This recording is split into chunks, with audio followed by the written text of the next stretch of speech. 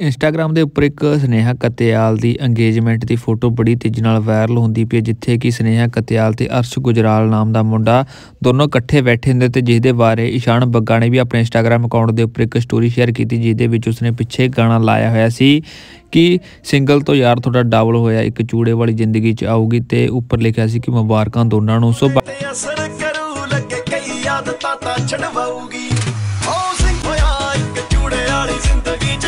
ਬਾਕੀ ਇੱਥੋਂ ਅੰਦਾਜ਼ਾ ਲਾਇਆ ਜਾ ਸਕਦਾ ਕਿ ਸਨੇਹਾ ਕਤਿਆਲ ਦੀ ਇੰਗੇਜਮੈਂਟ ਜਿਹੜੀ ਕਿ ਉਹ ਹੋ ਚੁੱਕੀ ਹੈ ਜੇਕਰ ਨਾਲ ਦੀ ਨਾਲ ਦੇਖੀਏ ਤਾਂ ਇਹ ਫੋਟੋ ਆ ਜਿਹੜੀ ਕਿ ਇੱਕ ਸ਼ੂਟ ਦੀ ਫੋਟੋ ਆ ਗਈ, ਜਿੱਥੇ ਕਿ ਸਨੇਹਾ ਕਤਿਆਲ ਨੇ ਇੱਕ ਗਾਣੇ ਦੇ ਵਿੱਚ ਮਾਡਲਿੰਗ ਕੀਤੀ ਸੀ ਜੋ ਕਿ 24 ਨਵੰਬਰ ਨੂੰ ਆ ਰਿਹਾ ਹੈਗਾ ਤੇ ਜੋ Song ਆ ਜਿਹੜਾ ਕਿ ਇਸ ਮੁੰਡੇ ਨੇ ਗਾਇਕ ਅਰਸ਼ ਗੁਜਰਾਲ ਨੇ। ਸੋ ਇੰਜ ਵੀ ਲੱਗਦਾ ਪਿਆ ਕਿ ਇਹ ਇੱਕ ਕਲਿੱਕ ਵੇਟ ਪਾਉਣ ਲਈ ਜਾਂ ਆਪਣੇ ਗਾਣੇ ਦੀ ਹਾਈਪ ਵਧਾਉਣ ਲਈ ਇਹਨਾਂ ਦੀ ਗਲਤ ਸਟੋਰੀ ਪਾਈ ਜਾ ਰਹੀ ਹੈ ਬਾਕੀ ਤੁਸੀਂ ਕਮੈਂਟ ਬਾਕਸ ਦੇ ਵਿੱਚ ਕਮੈਂਟ ਜ਼ਰੂਰ ਕਰਿਓ।